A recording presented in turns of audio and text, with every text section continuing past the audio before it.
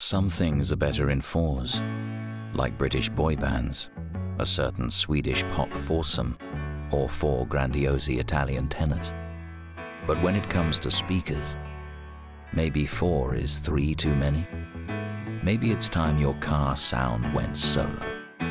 The EX30 comes with Volvo's first ever in-car soundbar instead of space-stealing speakers filling the vehicle. This means less material used and more room to enjoy the sound quality.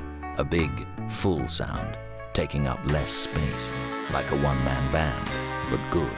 Now isn't that music to your ears? Volvo EX30, our smallest ever SUV with plenty of sound and space.